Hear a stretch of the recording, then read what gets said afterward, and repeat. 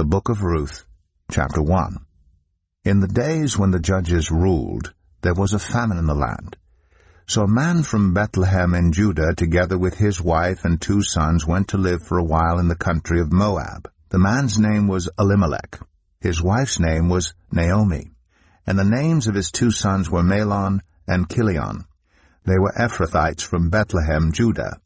And they went to Moab and lived there. Now Elimelech, Naomi's husband, died, and she was left with her two sons. They married Moabite women, one named Orpah and the other Ruth. After they had lived there about ten years, both Mahlon and Kilion also died, and Naomi was left without her two sons and her husband. When Naomi heard in Moab that the Lord had come to the aid of his people by providing food for them, she and her daughters-in-law prepared to return home from there. With her two daughters-in-law she left the place where she had been living and set out on the road that would take them back to the land of Judah. Then Naomi said to her two daughters-in-law, Go back, each of you, to your mother's home. May the Lord show you kindness as you have shown kindness to your dead husbands and to me. May the Lord grant that each of you will find rest in the home of another husband. Then she kissed them good-bye, and they wept aloud, and said to her, We will go back with you to your people. But Naomi said, Return home, my daughters. Why would you come with me? Am I going to have any more sons? Who could become your husbands? Return home, my daughters. I am too old to have another husband. Even if I thought there was still hope for me, even if I had a husband tonight and then gave birth to sons, would you wait until they grew up? Would you remain unmarried for them? No, my daughters, it is more bitter for me than for you, because the Lord's hand has turned against me.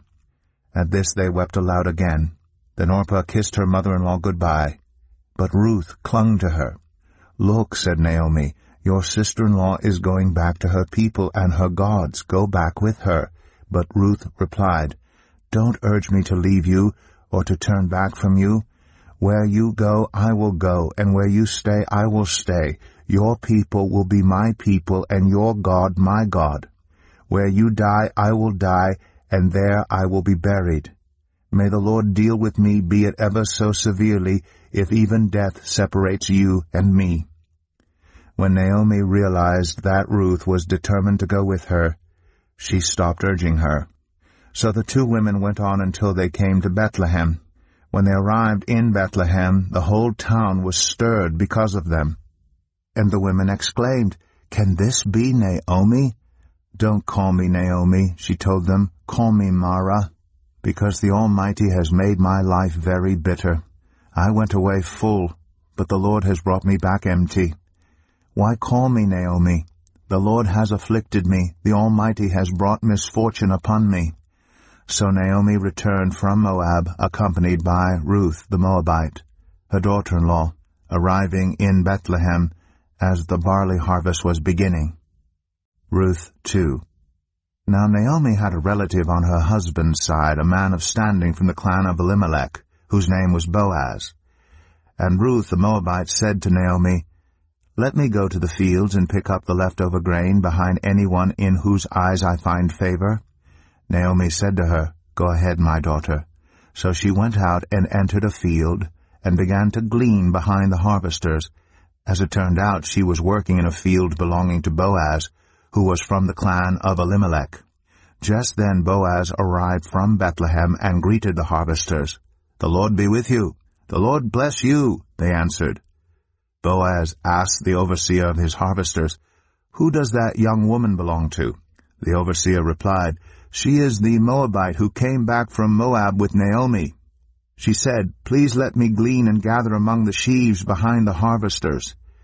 She came into the field and has remained here from morning till now, except for a short rest in the shelter. So Boaz said to Ruth, My daughter, listen to me. Don't go and glean in another field, and don't go away from here. Stay here with the women who work for me. Watch the field where the men are harvesting, and follow along after the women. I have told the men not to lay a hand on you, and whenever you are thirsty, go and get a drink from the water jars the men have filled. At this she bowed down with her face to the ground. She asked him, Why have I found such favor in your eyes that you notice me, a foreigner?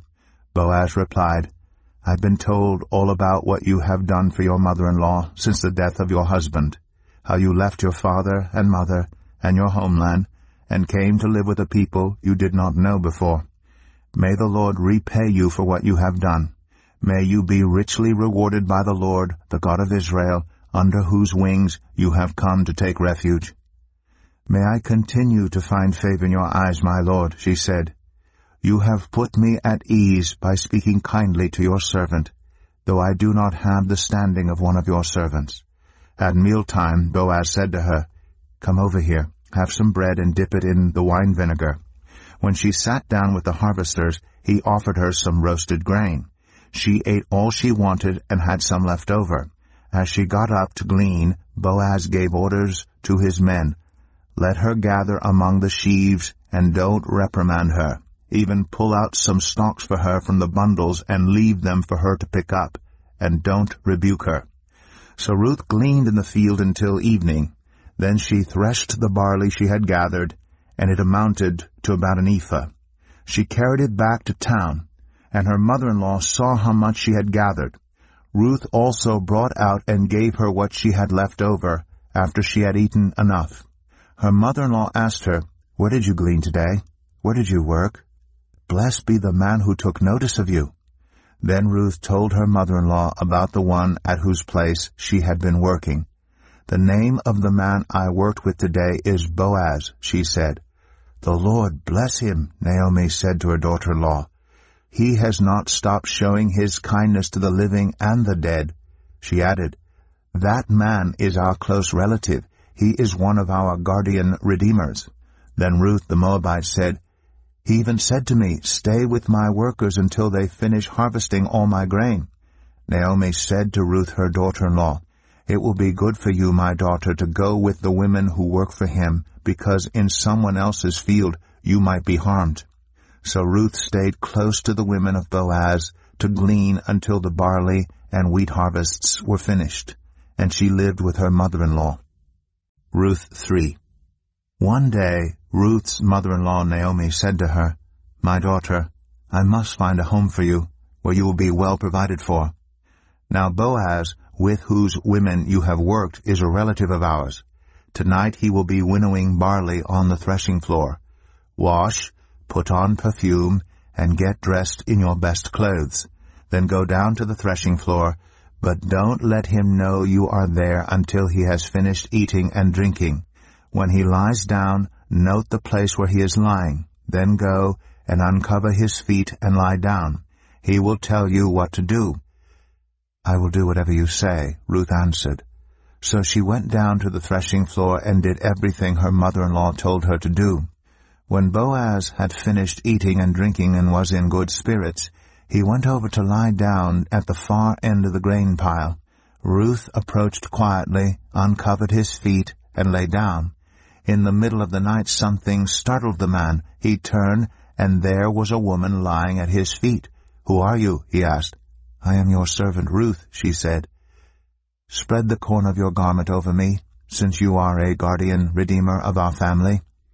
The Lord bless you, my daughter, he replied. This kindness is greater than that which you showed earlier. You have not run after the younger men, whether rich or poor. And now, my daughter, don't be afraid. I will do for you all you ask. All the people of my town know that you are a woman of noble character. Although it is true that I am a guardian redeemer of our family, there is another who is more closely related than I. Stay here for the night, and in the morning, if he wants to do his duty as your guardian redeemer, good, let him redeem you. But if he is not willing, as surely as the Lord lives, I will do it. Lie here until morning. So she lay at his feet until morning, but got up before anyone could be recognized. And he said, No one must know that a woman came to the threshing floor. He also said, Bring me the shawl you are wearing and hold it out. When she did so, he poured into it six measures of barley and placed the bundle on her. Then he went back to town. When Ruth came to her mother-in-law, Naomi asked, How did it go, my daughter? Then she told her everything Boaz had done for her, and added, He gave me these six measures of barley, saying, Don't go back to your mother-in-law empty-handed. Then Naomi said, Wait, my daughter, until you find out what happens, for the man will not rest until the matter is settled today.